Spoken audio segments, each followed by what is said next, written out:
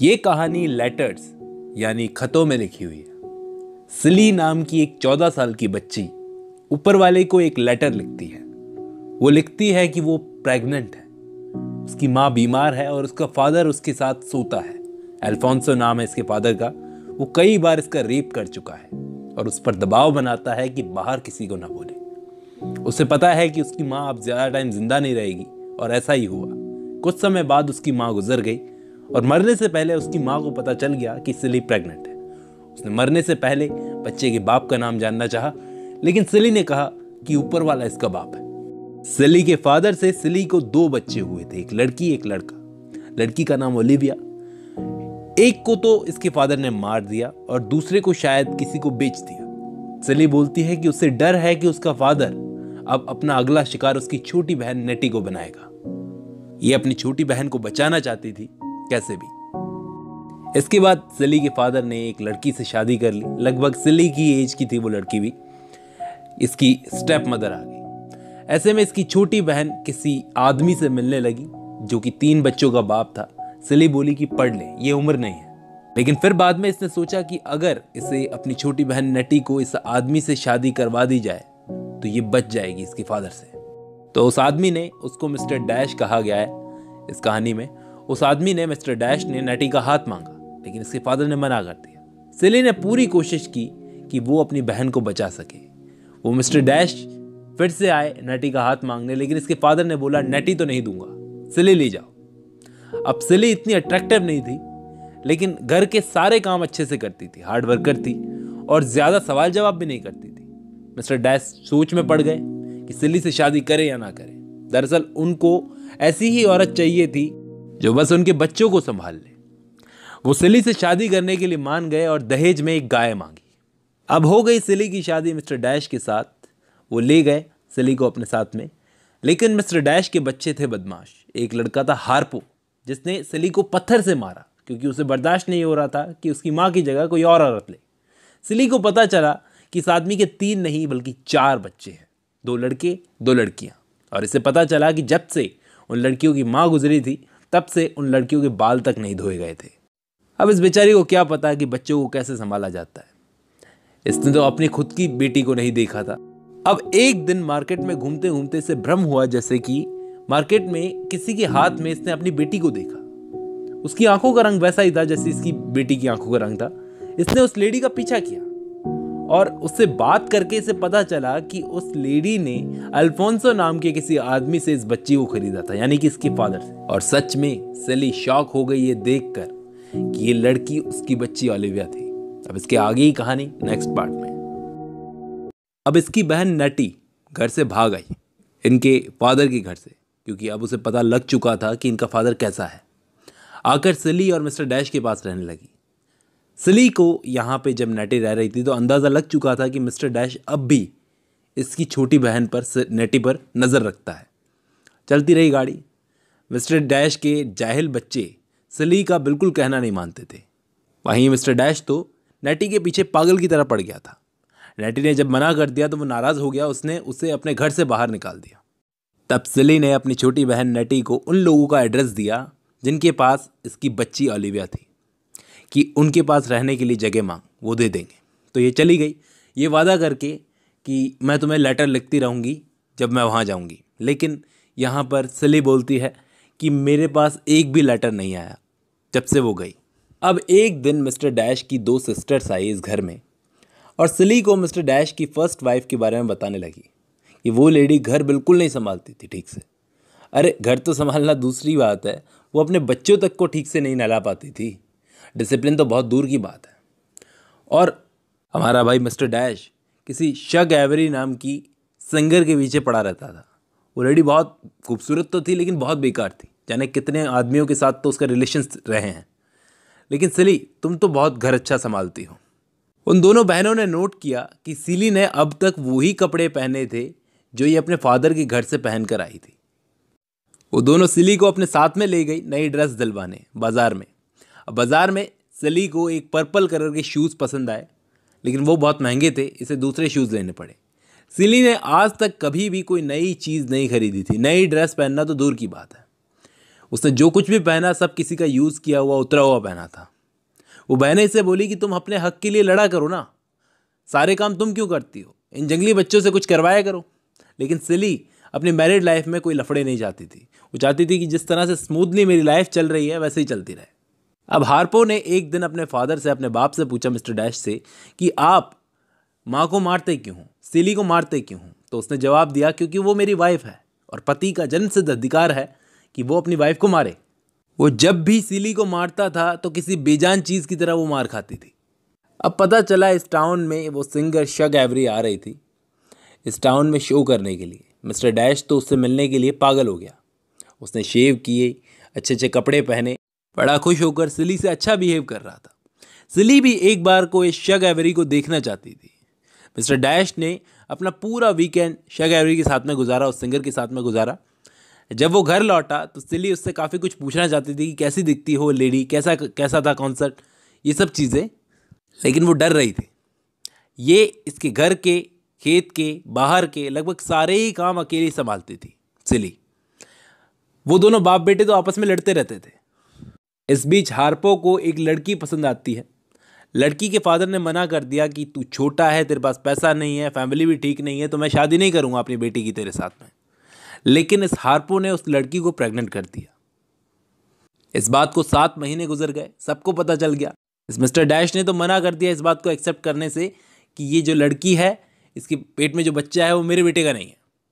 Sophia नाम था लड़की का। मिस्टर डैश बोला, नहीं करने दूँगा इन दोनों को शादी। वो बोली, मुझे भी अभी नहीं करनी शादी। जब हारपो डिपेंडेंट हो जाएगा सेल्फ लायक हो जाएगा तो तभी करूँगी। लेकिन आखिर हारपो ने सोफिया से शादी कर ही ली। मिस्टर डैश हारपो को शादी के बाद बोले कि, ये लड़की मुझे ठीक नहीं लगती तो मैं छोड़ जाएगी। मिस्टर डैश अपने बेटे हारपो को भी सलाह देता था कि, तू भी तेरी बीवी को मारा कर। तीन साल गुजर गए इनकी शादी को। हारपो जो तो सोफिया को मारने की ट्राई करता तो सोफिया उससे डबल मारती थी उसको। इसलिए वो ट्राई नहीं करता था। लेकिन लड़ाइयाँ होती रहती थी।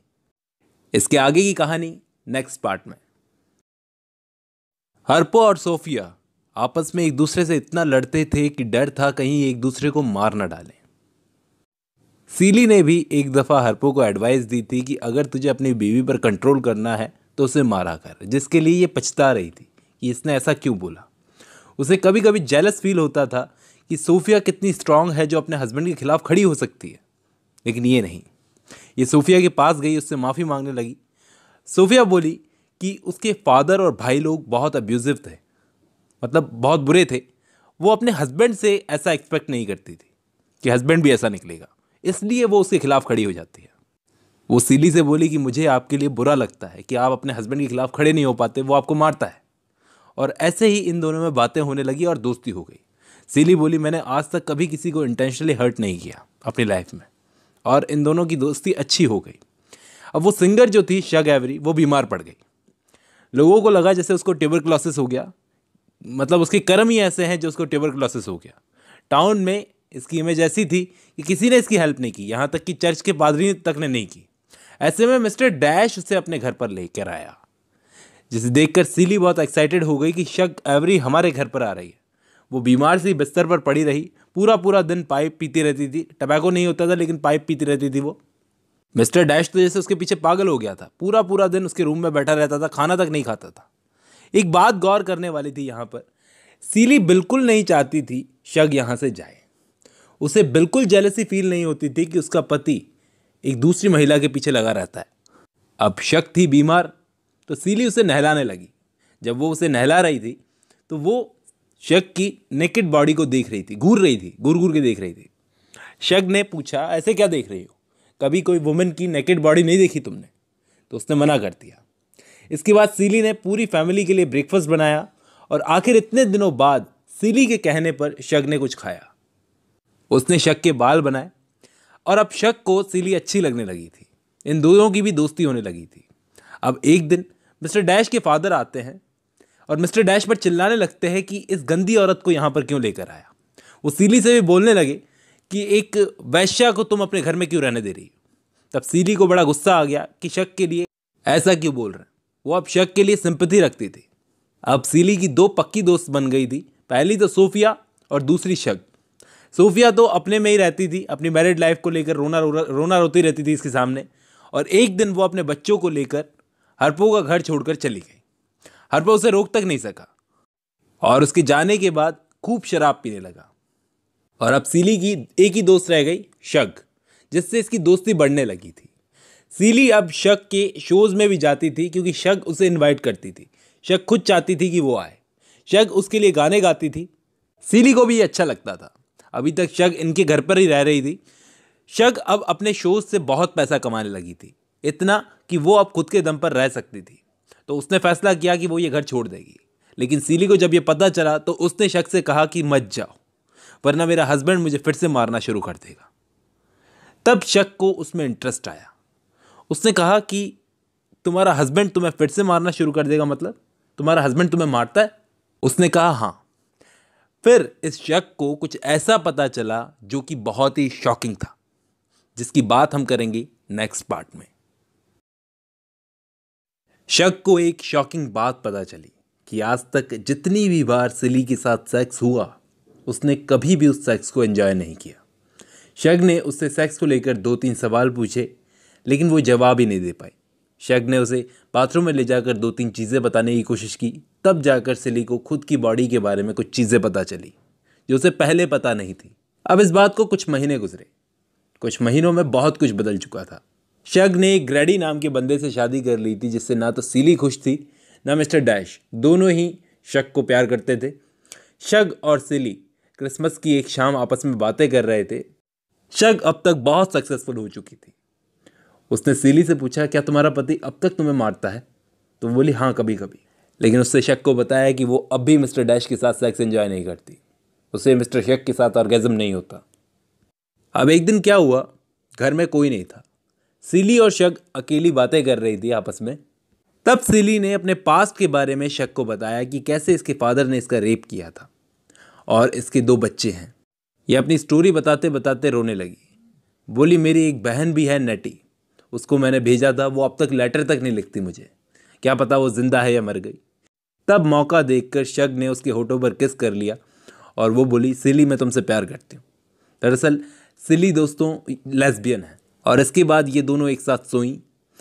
और ये फ़र्स्ट टाइम था जब सिली ने किसी के साथ सोना एंजॉय किया। इसके बाद एक सच और सामने आता है कि सिली की वो जो सिस्टर थी, नेटी, वो जब से यहाँ से गई थी कंटिन्यूसली लेटर लिख रही थी इसे, लेकिन इसे वो लेटर्स नहीं मिल रहे थे। पता चला कि मिस्टर डैश उन लेटर्स को सीली तक पहुँचने ही नहीं देता था। सीली तो इतने सालों में मान चुकी थी कि उसकी सिस्टर नेटी मर चुकी है, गुजर चुकी है। इसे अभी एक लेटर से पता चला कि इसकी बहन नटी भी ज़िंदा है और इसके वो जो दो बच्चे एडम और ओलिविया, वो भी सही सलामत हैं। इस बात पर सिली को लाइफ में पहली बार इतना गुस्सा आया कि एक रेजर ले और मिस्टर डैश का गला काट दे। ऐसा करने से शग ने उसे रोका। अब शग ने अपनी स्टोरी बताना शुरू की कि शग पहले से एक डांसर थी और ये मिस्टर डैश भी एक डांसर था कभी। मिस्टर डैश से बहुत पहले ये शादी करना चाहती थी, लेकिन मिस्टर डैश की फैमिली ने ऐसी लड़की से इसे शादी नहीं करने दी, मिस्टर डैश को। मिस्टर डैश की फैमिली वाले राज़ी नहीं हुए तो मिस्टर डैश ने कहीं और शादी कर ली।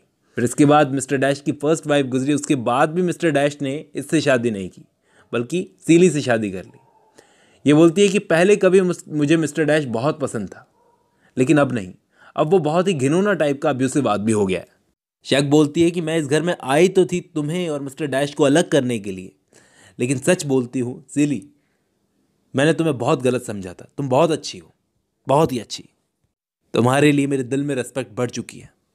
इसके बाद इन दोनों को पता चला कि मिस्टर डैश नेटी के आए हुए लेटर्स को एक बक्से में बंद रखता था अपने बेडरूम के नीचे।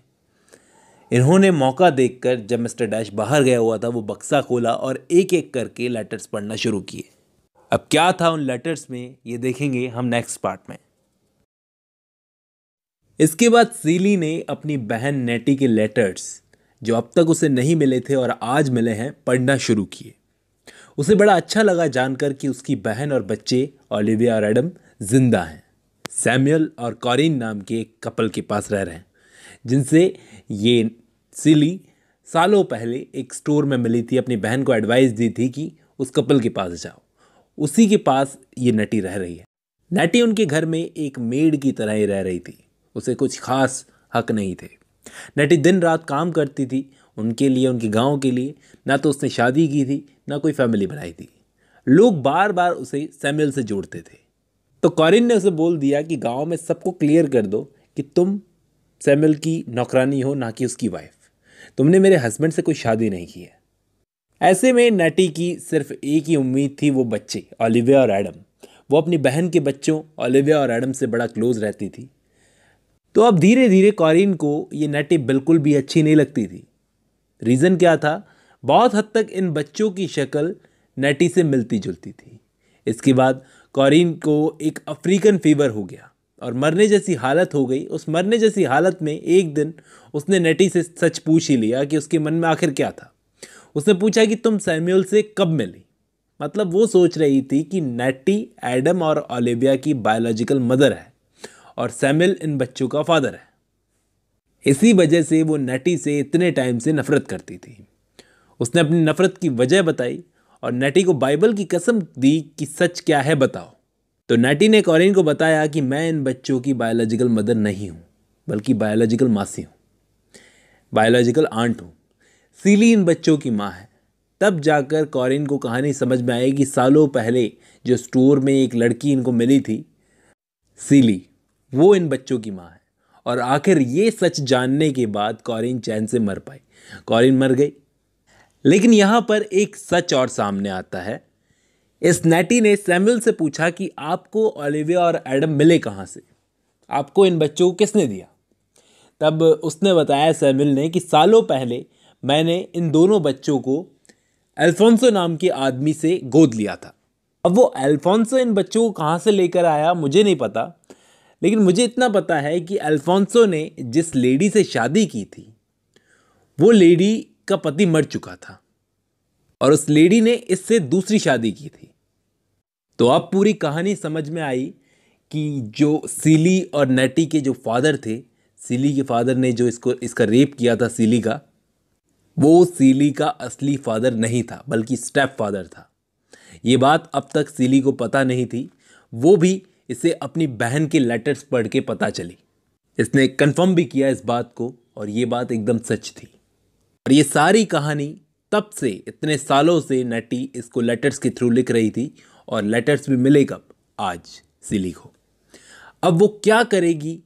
ये सारे सच जानने के बाद सिली ने आज तक जो नहीं किया वो करने वाली है। ये कुछ फैसले लेती है जो हम देखेंगे लास्ट पार्ट में।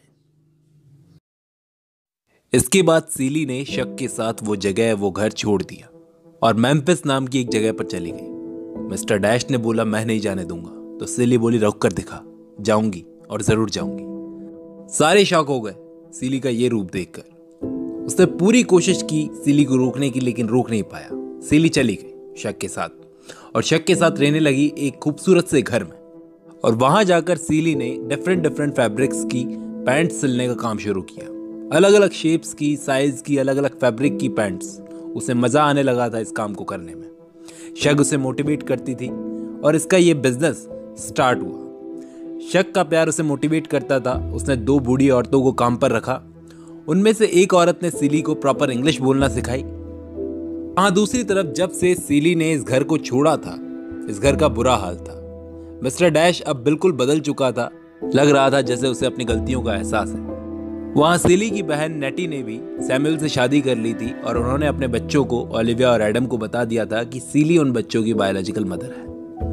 इस बीच एक खबर आई कि सिली के स्टेप फादर अल्फोंसो की डेथ हो गई।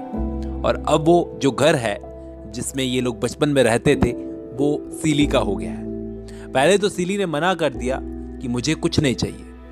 लेकिन शग ने उसे कन्विंस किया कि ले लो, तुम्हारा है वो। और तब सीली मानी और ये उस घर में रहने लगी। मिस्टर डैश भी सीली के पास आया और सीली से माफ़ी मांगी। सीली ने मिस्टर डैश को सच्चाई बताई कि वो एक लेस्बियन है। मिस्टर डैश ने सीली से माफ़ी मांगी जो कुछ भी उसने किया उसके लिए। सीली ने कहा, मैं आपसे नफरत नहीं करती, लेकिन शब शक आपसे प्यार करती है और आप भी शक से प्यार करते हैं। और इसके बाद सीली इंडिपेंडेंट हो गई और उसने अपना कमरा पर्पल कलर से रंगवाया, क्योंकि उसे पर्पल कलर बड़ा पसंद था। और अपने फाइनल लेटर में सीली गॉड को लिखती है कि एक दिन ऐसे ही अचानक कोई उसके पास आया। उसे अपनी आँखों पर यकीन नहीं हुआ, क्योंकि वो उसकी छोटी बहन नेटी और उसके बच्चे एडम और ओलिविया थे।